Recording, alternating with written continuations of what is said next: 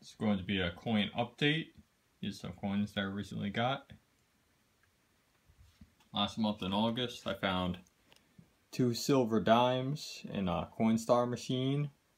They were found at different times. They weren't found both at the same time. But one is from 1962. The other is from 1952.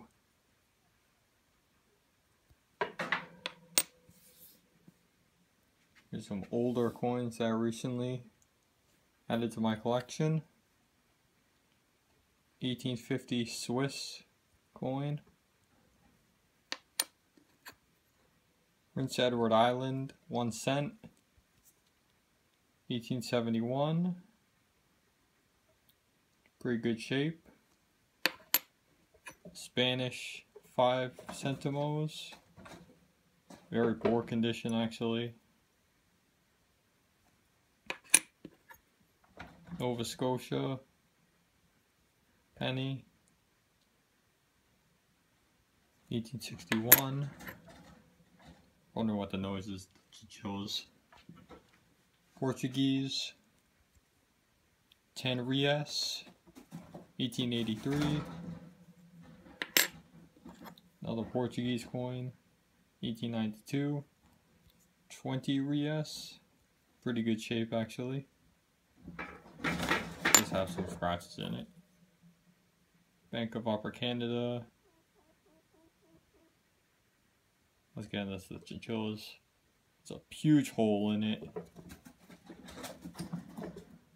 One cent. San Marino. Five centesimi, 1894. Another Nova Scotia coin, half cent.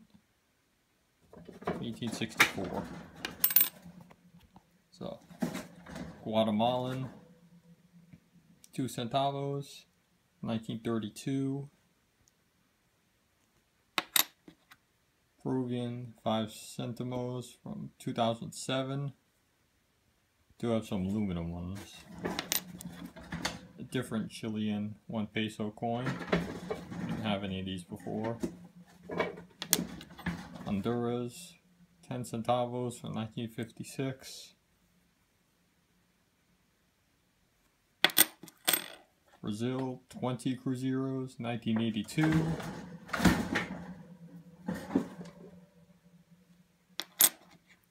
Cape Verde, 10 escudos. Bird on it. The Brazilian coin, 50 centavos. Nicaragua, 10 centavos. Another Brazilian coin, 20 centavos, 1987. Haiti, 5 centimes.